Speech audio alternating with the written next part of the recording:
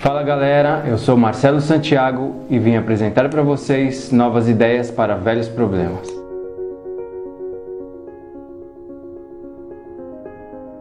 Vocês sabiam que o Brasil possui 5.570 municípios e que 5 mil desses municípios possuem até 50 mil habitantes?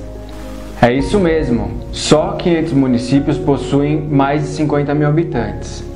E você aí pagando salário para vereadores em todos esses municípios.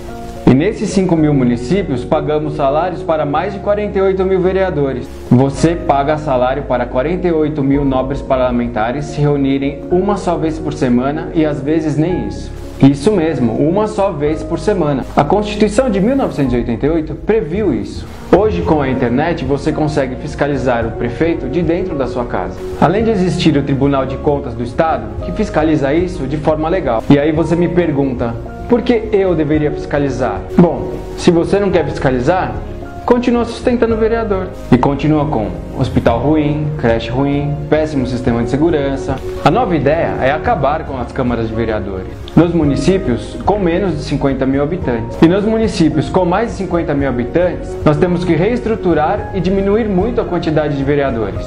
Se acabarmos com esses vereadores, economizamos 4 bilhões de reais por ano. Isso só de salários para esses vereadores. Imaginem a economia com assessores, verbas de gabinete, estruturas de prédio, limpeza. Essa economia toda poderia, por exemplo, resolver o problema do rombo da Previdência. E resolvendo a Previdência, não mexeria na sua aposentadoria. Não seria melhor um colegiado que faria esse serviço de graça?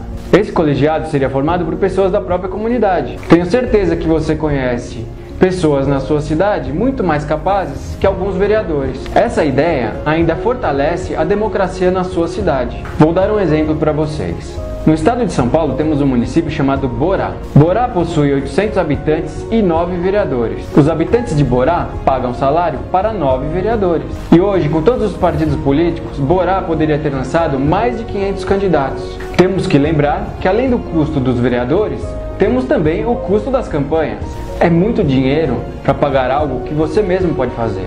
Você gostou dessa ideia? Frequente esse espaço.